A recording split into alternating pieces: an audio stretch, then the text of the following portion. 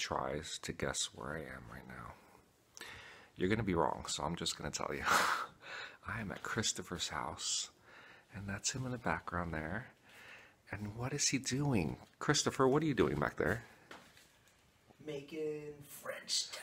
Oh, yeah, baby, French toast. Show me how it's done. I don't even know. I just go go with the. So that's eggs, and you put what, a little cinnamon in there just now? Uh, that was vanilla Vanilla? extract, and then I do put a little cinnamon in, but I also put in where is it? Instead of sugar, I put in like a Splenda. Oh, okay. First time having Splenda French toast for me. You can barely taste it. Yeah. Still. Cool. All right, so I'm going to time lapse this.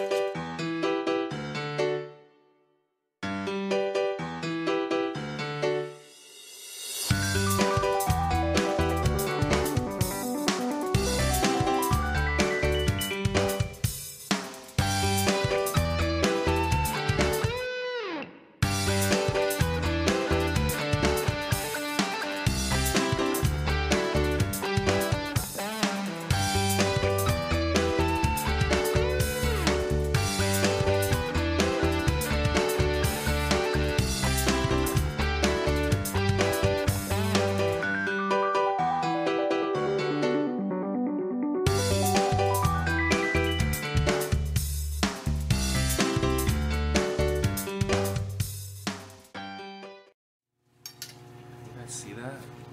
Let's see what it looks like. Yeah, that looks delicious.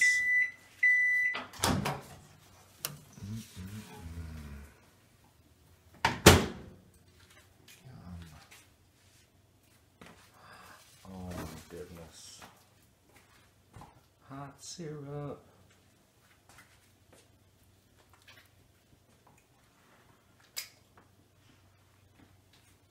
And last but not least, because Chris knows how to do things, man. Look at that. Mm-mm-mm. Excuse me. Yum.